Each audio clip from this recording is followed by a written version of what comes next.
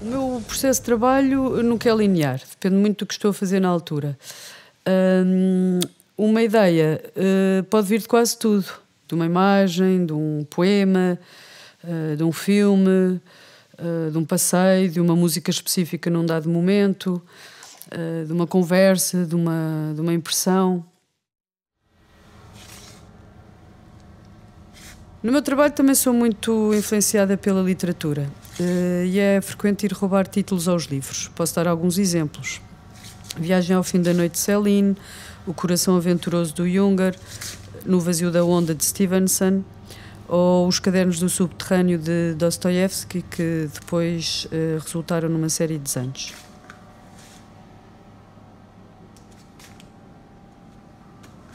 O meu trabalho tem como referência mais evidente a natureza. Uh, acho que é uma fonte inesgotável e através do que ela me oferece tento pensar a questão do tempo, da transformação, do efêmero, da estranheza, do inexplicável. Uh, trabalho muito por séries, porque é precisamente uma forma de, de ir refletindo e aprofundando uma ideia, um, porque é realmente durante esse processo de trabalho que a ideia vai ganhando forma, vai, vai ganhando expressão. Um, portanto, é sempre um processo contínuo. O desenho é muito mais rápido, é, é muito mais intuitivo. Se não corre bem, uh, passo rapidamente a outro.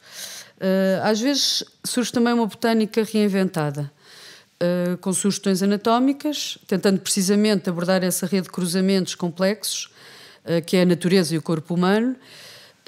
o corpo humano enquanto extensão da natureza, formado por matéria viva, por células, carne, músculos, órgãos, cabelos, pelos, água.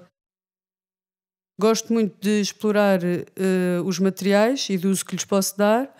Uh, na minha pintura, a plasticidade tem muita importância. Uh, tento sempre que seja uma pintura o mais reativa e sensível à luz possível.